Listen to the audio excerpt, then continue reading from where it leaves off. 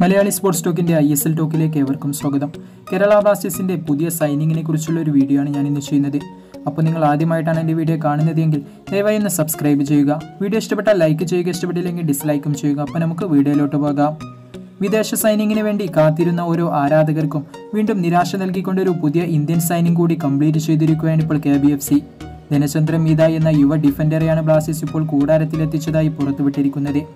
ഒരു വിദേശ സൈനികനായി കാത്തിരുന്ന ഓരോ ആരാധകർക്കും വീണ്ടും നിരാശ നൽകുന്ന ഒരു സൈനികായി ഇത് മാറിയിരിക്കുന്നു എന്നത് നൂറ് ശതമാനം ഉറപ്പാണ്. എന്തായാലും ഈ ഇരുപത്തിയാറുകാരനെ കൊച്ചിയിലെത്തിക്കാൻ സാധിച്ചത് വരും സീസണിൽ ബ്ലാസ്റ്റേഴ്സ് ഡിഫൻസിലും മധ്യനിരയിലും വലിയ ഗുണം ചെയ്യുമെന്നതിൽ യാതൊരു സംശയവുമില്ല.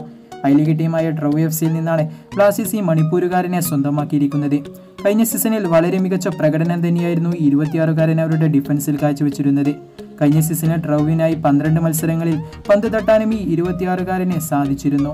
പ്രധാനമായി ലെഫ്റ്റ് ബാക്ക് പൊസിഷനിലാണ് താരം ബൂട്ട് കെട്ടാറുള്ളത്. എന്നാൽ അതിനു പുറമെ സി എം എഫ് ഐയും ഡി എം എഫ് ഐയും പന്ത് തട്ടാനുള്ള കഴിവും ഈ മണിപ്പൂരുകാരനുണ്ട്. അതിനാൽ ആവശ്യമുള്ളപ്പോൾ ഈ ഒരു പൊസിഷനിലെല്ലാം താരത്തെ ഉപയോഗിക്കാൻ സാധിക്കുമെന്നത് ബ്ലാസ്റ്റേഴ്സിനെ സംബന്ധിച്ചിടത്തോളം ഒരു വലിയ ഗുണം ചെയ്യുന്ന ഒരു കാര്യം തന്നെയാണ്.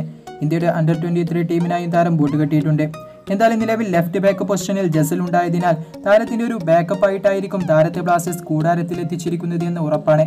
എന്തായാലും ഒരു വർഷത്തേക്കാണ് താരത്തെ ബ്ലാസ്റ്റേഴ്സ് ടീമിൽ സൈൻ ചെയ്തിട്ടുള്ളത്. അടുത്ത സീസണിൽ മിന്നും പ്രകടനം കാഴ്ചവെക്കാനായാൽ താരത്തിന്റെ കോൺട്രാക്ട് വീണ്ടും പുതുക്കുമെന്നാണ് അറിയാൻ സാധിക്കുന്നത്. എന്തായാലും ടീമിനായി വളരെ മികച്ച പ്രകടനം തന്നെ കാഴ്ചവെക്കാൻ ഈ ഇരുപത്തിയാറുകാരനെ സാധിക്കട്ടെ എന്ന് ആശംസിക്കുന്നു. വീഡിയോ അവസാനിപ്പിക്കുന്നു. കായിക ലോകത്തെ പുതിയ വാർത്തകൾക്കായി ദയവായി എന്റെ ചാനൽ സബ്സ്ക്രൈബ് ചെയ്യുക.